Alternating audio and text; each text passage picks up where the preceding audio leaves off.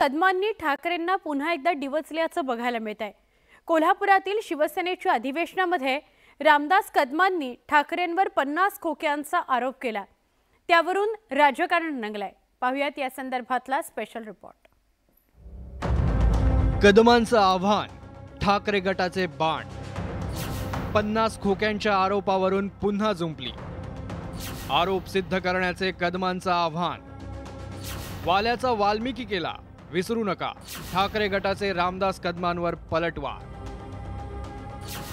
बाळासाहेबांनी निर्माण केलेल्या शिवसेनेत फूट पडल्यानंतर सर्वाधिक संघर्ष कोकणात पाहायला मिळतोय. शिवसेना पक्ष आणि पक्षचिन्ह एकनाथ शिंदेंना मिळण्यासाठी ज्या महत्त्वाच्या लोकांनी मदत केली त्यात रामदास कदमही एक आहेत. त्यामुळे रामदास कदम सातत्यानं ठाकरे गटाच्या निशाण्यावर असतात.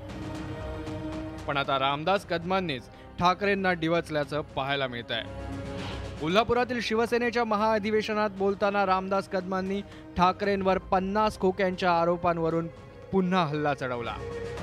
चाळीसपैकी एका आमदारांनी कारण चाळीसमध्ये माझा मुलगा आहे आमदार. माझा मुलगा आमदार आहे.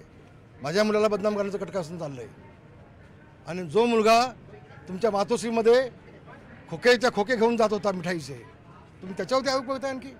कारण चाळीसमध्ये माझा मुलगा देखील आहे. आणि म्हणून मी आव्हान दिलं आहे हिंमत असेल तर सिद्ध करून दाखव.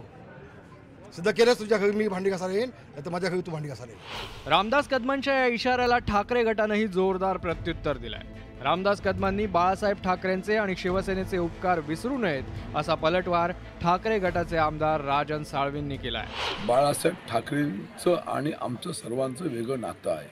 आणि त्या नात्यातून ही संपूर्ण कोकणामध्ये शिवसेना वाढलेली आहे. आणि चार शब्द शिवसेनेमुळेच रामदास कदम असतील त्यांचे मुलगा योगेश कदम असतील या सर्व मंडळींना जी आज मानाची पदं सन्मान जो काय मिळालेला आहे तो चार शब्द शिवसेनेहून मिळालेला आहे त्यांना विसर पडू नये अशी माझी अपेक्षा आहे. उद्धव ठाकरेंनी कोकण दौऱ्यातून शिंदेच्या समर्थक नेत्यांवर जोरदार प्रहार केला होता. त्यामुळे शिंदेच्या शिवसेनेचे कोकणातील नेते चांगले संतप्त झाले.